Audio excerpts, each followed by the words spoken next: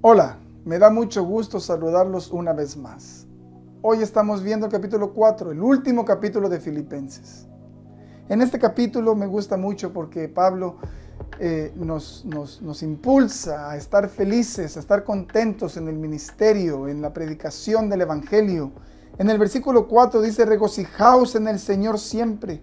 Otra vez digo, regocijaos. Si tenemos preocupaciones, en el versículo 8 nos dice, por lo demás, hermanos, no, en el versículo 6, perdón, por nada estéis angustiados, sino sean conocidos vuestras peticiones delante de Dios en toda oración y ruego. Porque hay dificultades, pero al mismo tiempo tenemos la confianza de dejarlas ante Cristo. Y entonces nos podemos regocijar otra vez en el Señor. Fíjense bien también, en el versículo 8, por lo demás, hermanos, todo lo que es verdadero, todo lo que es honesto, todo lo que es justo, todo lo que es puro, todo lo que es amable, todo lo que es de buen nombre, si hay virtud alguna, si algo digno de alabanza en esto, pensad, si estamos en el ministerio, debemos de tener este versículo, Filipenses 4.8, en nuestra mente en todo momento. Porque el mundo vaga hacia el lado contrario de lo que Cristo nos pide y debemos de identificar esas cosas. Y y Pablo está tan comprometido en el Evangelio que él dice que él ha aprendido a vivir en la escasez y también en la abundancia, porque los hermanos le ayudan.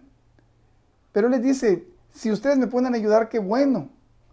Y hay que ayudarnos los unos a los otros, pero mientras no nos podamos ayudar, si, si no es posible, también hay que estar contentos por lo que Cristo puede hacer por nosotros.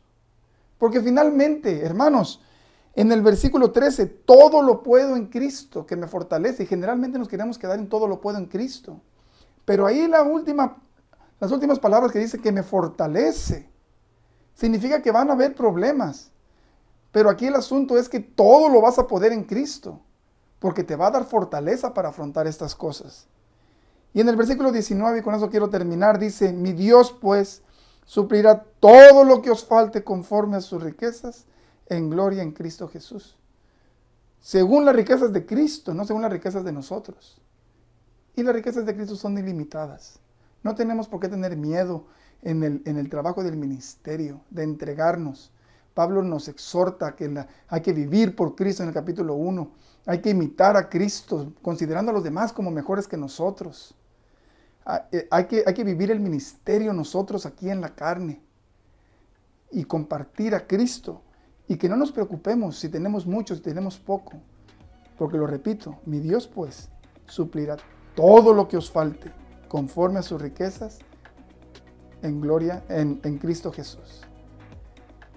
Que el Señor nos ayude a poder agarrar esta carta a los filipenses y hacerla de nosotros para que nuestro ministerio tenga frutos por medio de Cristo Jesús y para gloria de Cristo Jesús.